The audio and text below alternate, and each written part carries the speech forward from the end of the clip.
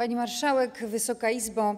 Od niedawna w Polsce e, rozwija się nowa dziedzina wiedzy medycznej e, perinatologia. W Instytucie Matki i Dziecka w Warszawie jest profesor Truszyński, który się tym zajmuje i dzięki temu wiemy, jest to poparte badaniami, że dziecko między siódmym a ósmym tygodniem swojego życia ma już receptory czuciowe na swojej twarzy, odczuwa ból. I od, wiemy również, że w okresie okolicy 20 tygodnia ciąży dziecko odczuwa dużo większy ból niż potem jako noworodek. Jest to dziedzina wiedzy, która służy temu, żeby te maleńkie dzieci ratować, bo rzeczywiście jest bardzo dużo takich ludzi, którzy chcą te różne skomplikowane sytuacje wyprowadzić na prostą i walczą o życie swojego dziecka. Ta ustawa jest wbrew konstytucji, neguje rozstrzygnięcia sądu konstytucyjnego.